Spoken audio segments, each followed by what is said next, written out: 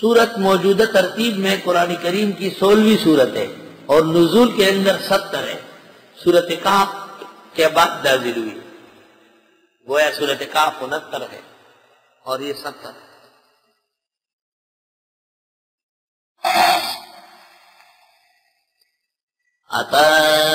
अमरुल्लाह, फला आ गया खुदा का फैसला, उसको जल्दी मत मांगो। क्यामत के बारे में मुशरकिन कहते थे कि ये कब होगी? कुरान में तो है एक तरब अलनास और एक तरबत सात वन शक्ल कमर। तो वो क्यामत कब है जो कुरान कहते हैं कि आ गई है? फरमाया, जो काम होने वाला है, उसको आया हुआ समझो। बेवकूफो ये तुम्हारी मौत भी क्यामत का एक मरहला है। क्योंकि मम मात फकद खामत क्यामत। अतामरुल्लाह आ गया खुदाई फैसला, फला तस्ताजिलू हो बस इसको जल्दी मत मांगो। सुबहान हो उसकी जात पाक है कि कहे और न हो। वह ताला, और वो बुलंद है, अम्मा युशरिकून जो शरीफ ठहराते मिन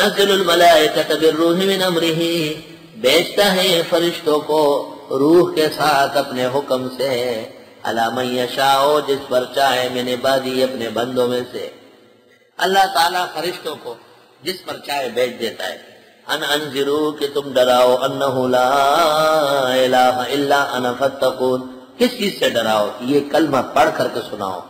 ला इलाहा ला इलाहा है ही नहीं हाजत रवा मुश्किल कुशा ला इलाहा है ही नहीं हाजिर नाजिर गैबदान मुतसर्रिफ। इल्ला अना, मगर मैं ही हूँ फतकून बस मुझसे डरो। खलक समावत वल अर्द पैदा फरमाया आसमान और ज़मीन हक जानने के लिए। बहुत ऊँचे हैं, उन बातों से जो ये शेर करते हैं। खलकल इंसान मिन नुतफतिन, पैदा किया इंसान को बूंदे से, पानी के खतरे से। पैदा हुआ खसीम मुबीन। बस ना कहा वो लड़ने वाला बना खुलकर। मेरा एक एतराज़ है। मैं एक आयत को जरा समझना चाहता हूँ सुन यार। लल्लू एक कतरे से पैदा है और खुदा ताला के निज़ाम पर यार ये जलजले जो आ गए हैं ये इसमें अल्लाह ताला का क्या वो है? तो अल्लाह ताला का भतीजा बना हुआ है कि अल्लाह से पूछ रहा। उसकी मर्ज़ी है, आसमान थोड़े ज़मीन ऊपर करे, ज़मीन फाड़े, पहाड़ ले आए, कौन पूछने वाला? हक क्या है, तुझे पूछेगा हसीम मुबीन झगड़ालू खामा खाका वल अनाम लकुम, मवेशियाँ पैदा फरमाई, तुम्हारे लिए फ़ायदे के लिए। लकुम फ़ी हा तुम्हारे लिए उसमें सर्दी से बचाव है। उनकी रुई और ऊन, उसके वास्ते टोपी और चादर, व मनाफे और बड़े काम है, व मिन आता कुलून और उसमें से तुम खाते हो। सारा हैवान नहीं खा सकते। हैवान के कुछ हिस्से खाए जाते हर हलाल हैवान में सात चीज़ें आराम है। वलकुम फीहा जमाल और तुम्हारे लिए इसमें खूबसूरती है। हीन तुरी हो जिस वक्त तुम शाम को लाते हो, वही न तसरहून जब सुबह चरने ले चलते हो। जानवरों के दो वक्त बड़े अच्छे होते हैं। सुबह जब खुलते हैं, जंगल जाते हैं और शाम को जब पेट भर के और छड्डे और थन ऐसे लटक के दूध से घर आते हैं। लेकिन मकसूद चरना नहीं है, मकसूद घर आना है। तो उसको पहले ज़िक्र किया, ही न तुरी और चरना तो एक ज़रूरत है। बहुत सारी भैंस से और गाय हो। आदमी दर्श दे दे उसके बाद जाए, दो तीन घंटे चराए खुद। सारी ज़िंदगी सेहत रहेगी। न शुगर, न ब्लड प्रेशर न कब्ज, न पेचिश कुछ भी नहीं हो वकम हसरात फ़ी बुतून मकाबिल। वलकुम फ़ी फीहा जमाल। तुम्हारे लिए इसमें श्रृंगार है, खूबसूरती है। हलाल जानवर पालना खूबसूरत है। गाय खड़ी है दरवाजे के सामने। रब का शुक्र अदा कर भाई जिसने हमारी गाय बनाई। और भैंस खड़ी है, अब दूध बाल्टी भरी हुई, दही मौजूद, घी असली। वैसे बेटक खुली अम्मे खजलन के जन, बल, सड़े पदगमो आसी के हर मेहमान तेरे लिए आसान है।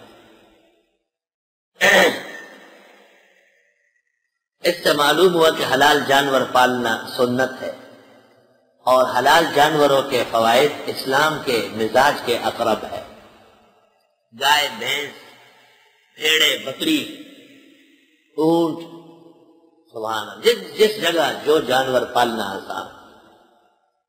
हाँ, हमने एक भैंस पाली किया शुरू में।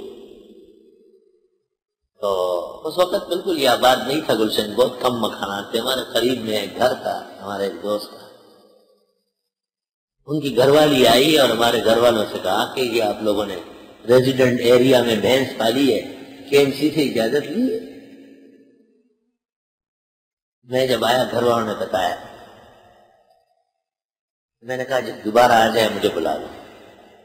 जब वो दोबारा आई, मैंने कहा, क्या कह रही है? कहा कि, आपने ये भैंस पाली है रेजिडेंट एरिया में तो इसकी सर्टिफिकेट बनवाई है के केएमसी से। मैंने कहा, तुमने जो घर पर टेलीविज़न रखा है, सारी रात ड्रामे देखती और घर पर कुत्ता पाला है। इसकी इजाज़त दी है तुमने। तो हंस पड़ी। ठीक है, लेकिन टेलीविज़न और कुत्ते पर यहाँ कोई पाबंदी नहीं है और भैंस पर है। मैंने कर ले, कुत्ता मुर्दार जानवर है, उसके पालने से नेकियाँ कटती है, रहमत का फरिश्ता नहीं आता। उसके पालने की इजाज़त है और भैंस पालने की इजाज़त मैंने कहा, ऐसा करो बीबी, तुम के एमसी वालों को कहो कि वो इस भैंस का जुर्माना मांगे। मैं भी अपने खुदा को कहता हूँ कि तुम्हें कुत्ता पालने और टेलीविज़न रखने की सजा दे। देखते हैं कौन सी एजेंसी पहले पहुँचे। बात खत्म हो गई, वो चली गई। नहीं, बाहर आया। आठ दस दिन गुजरे नहीं थे। देखा तो उसका खाउंद आ रहा है। मैंने सबसे शिकायत दी बीवी ने इसको अब शिकायत की और ये लड़ रहा है। क्योंकि तू तू मैं हुई या गिला करने आया होगा। वो आके बैठ गया। मैंने कहा, खैरियत है, कहा कि तबीयत खराब है। और मुझे एयरपोर्ट वालों ने नोटिस दिया है कि पहले आप इलाज कर ले और फिर आ जाए। नौकरी से एक किस्म का मुअत्तल किया। मैंने कहा, अल्लाह खैर कर। कहने लगे, डॉक्टर तो इसको समझता नहीं, हकीम मुरसलीम के पास गया हूँ, उसने एक सफूफ बताया है और कहा है कि भूरी भैंस के दूध के साथ खाए। मैं सरवर के बाड़े गए कोने पर अलग कॉलोनी के साथ। सरवर ने कहा कि एक ही भूरी भैंस थी और वो आपके मुफ्ती साहब लेके गए। तो मैं समझ गया कि ये चूँकि घर वाली ने आँख भेद भी की है तो उसकी पकड़ हो गई। अब आप दो काम कर ले।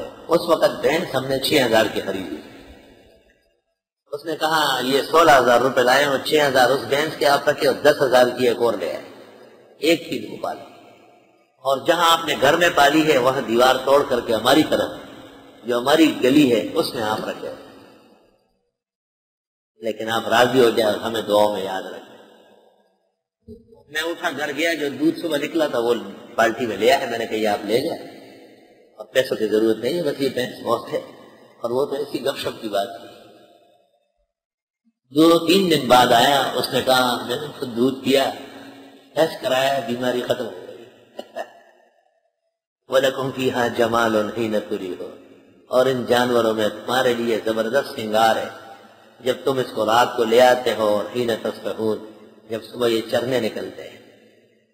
सुबह जब तुम चराने ले चलते मसरा कहते हैं चरागा को मसरा व तहमिल और उठाते हैं बोझ तुम्हारे इला बलदिन ऐसे शहर तक, लम तकूनो बालिगी है कि तुम नहीं हो पहुँचने वाले वहाँ तक, इल्ला बिशिल अनफुस। मगर ये कि तुम्हारी सांस उकड़ जाए, ये जो गज गाड़ी पर बड़ा बड़ा सरिया रखा हुआ है, अगर ये तफसीर वालों से कहा जाए कि तुम उठाओ, ले चलो। तो देखो कि सांस खराब होती है नहीं। सांस क्या सब कुछ खराब हो जाए। ये आपका काम नहीं है, उसके लिए अल्लाह ने खास खच्चर गधे पैदा किए।